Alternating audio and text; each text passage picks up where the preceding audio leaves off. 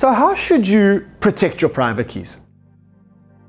Your private keys or your seed phrase provide access to your crypto wallet. Anyone that has them can access your wallet and move the funds. It's therefore critically important that you protect your private keys and ensure that no one ever has access to them. Here are some basic rules that may help you protect your private keys. Never store your private keys on your phone or your laptop. If your phone or laptop are either stolen or hacked, well, the hackers, they'll run sophisticated software to search for anything that resembles seed words or private keys. And then they'll find it and your crypto will be gone in seconds. It happens all the time. I can't tell you how often people tell me these stories. Two, never give your full private keys to anyone to store for you.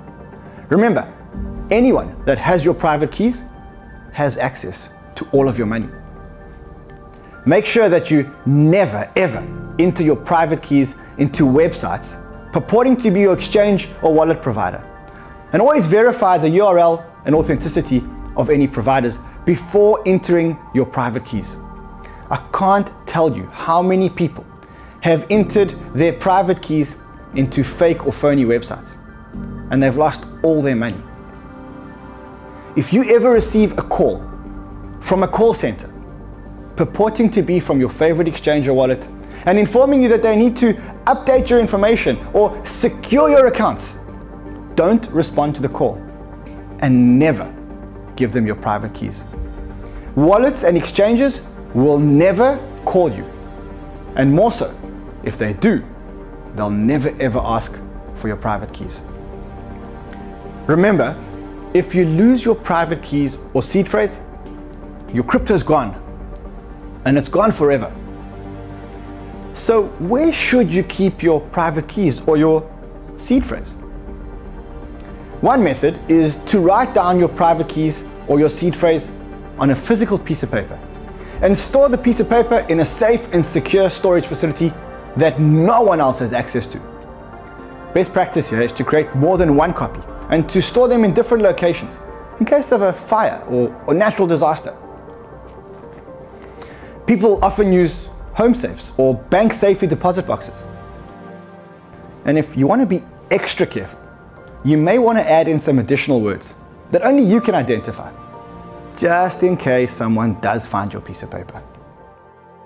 Another popular way of protecting your seed is what we call human sharding. This involves taking your seed words and breaking them up into three parts, A, B, and C. Then what you need to do is you need to identify two friends from around the world, and preferably not in the same city. You keep A, B. You give friend one B, C. And you give your other friend A, C. Once you've split the words, if you ever need to recover the words, you need your section and any one of the friend section. You can see that any two here can make up the words.